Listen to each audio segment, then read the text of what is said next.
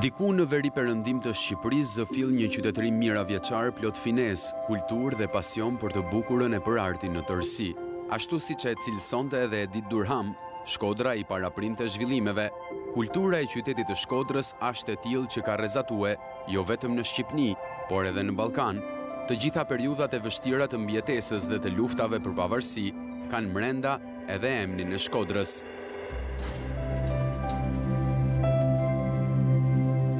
Në Shkodër u shkrep fotografia e parë shqiptare nga dinastia Marubi. Në vitin 1858 në qytetin e Shkodrës mendohet se u shkrep fotografia e parë një autoportret i Pietro Marubit që tregon shkallën e lartë të zhvillimit të tij për periudhën e vështirë që po kalonte vendi. Por kjo familje nuk ishte e vetmja që zhvillonte artin e fotografisë në Shkodër. Familja Jakova, Nenshati, Pici, Rraboshta dhe Dritshkroja e Kolës ishin disa nga personazhet që fiksuan momentet më të rëndësishme të Shkodrës në negativët e aparatëve të tyre.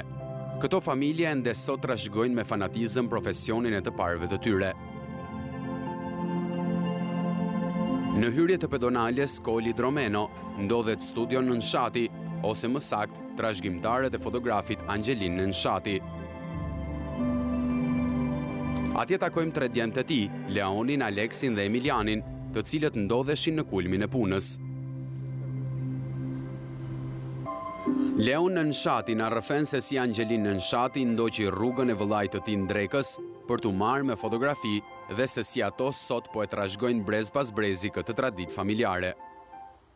Familjen tonë kena pas baben, pra Angjelin Nenshatin, që ka kenë një pasionant i madh për fotografinë, fotografinë artistike e fotografinë historike. Baba pati një lidhje të ngushtë me fotografinë sepse aparatin, E fotografik të parin ja la vllai i vet, që ai nuk jetoi gjatë me ne, kështu që ishte pak lidhje edhe shpirtnore me atë aparat. Ky pasion i babës u bart edhe te na, jo vetëm te unë, po te Emit, te Aleksit, edhe po mundona me ja trashëgu edhe fëmijëve tonë, sepse është e bukur mor. me pa fotografia që janë ba në qytet edhe për festat e fundvitit. Leoni tregon detaje nga fotot e vjetra të periudhës së festave. Pak më tutje ndodhet edhe Studio Jakova. Atje takojmë Nikolin Jakovën, pasardhësi i familjes. Menjëherë të bie në sy portreti i Dedë Jakovës, I vendosur në qendër të studios. Nikolini thotë se fotografia është shumë e rëndësishme në familjen e tij dhe si e tillë është trashëguar nga tre breza. Ai thotë se ndryshimi i fotografisë në vite ka qenë i madh por asnjëherë nuk e humbi vlerën. Ndryshimi është shumë i madh. Unë kam punu rreth pesë gjashtëmbëdhjetë vjet në sistemin komunist, në sistemin e ndërmarrjes. Edhe atëherë ka kenë gjithçka vend numra. Ma mirë me thanë ndërmarrja ka punu me pajisjet e të parëve të fotografisë tonë të Shkodrës, të cilët për kohën e tyne kur kanë punu kanë kenë bashkëkohor e nuk i kanë lanë gja mangut Europës, kundrejt pajisjeve, artit edhe zhvillimit të tij. Mandej në vitin nëntëdhjetë e një kur dolme privat na dolme me xhepa bosh, edhe kadal kadal fillume. Fillume m'u afru derisa në vitin dy mijë thamë se arritme m'u bashku me Europën.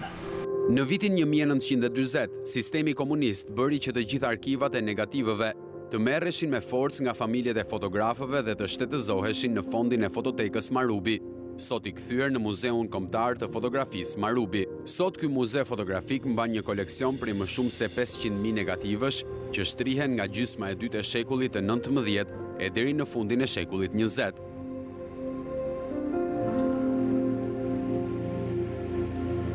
Drejtori i këtij muzeu, Luçian Bedeni, thotë se çdo vit po rritet interesi në këtë muze dhe falë bashkëpunimit me aktorë të tjerë po i afron më shumë të rinjtë shkodranë me fotografinë. Në vitin dy mijë e shtatëmbëdhjetë, në fillimin e vitit dy mijë e shtatëmbëdhjetë ne kemi patur një nënshkrim të tre marrëveshjeve.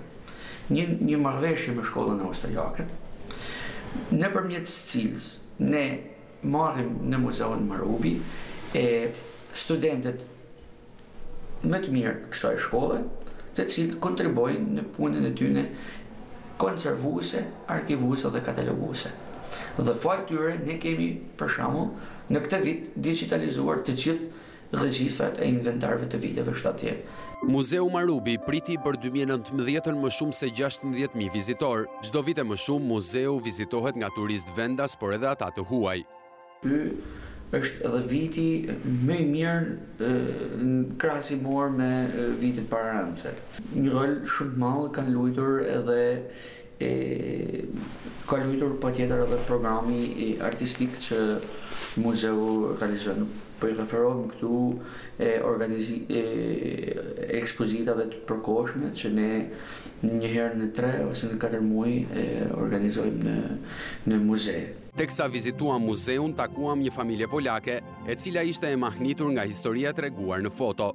I am for the, for the first time in this museum and it's really very beautiful as the venue. Është një muze shumë i bukur dhe shumë modern.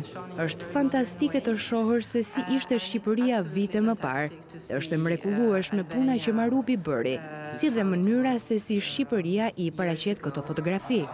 Është një udhëtim në histori, ku paraqitet Shqipëria dhe se si sot është zhvilluar. Është fantastike.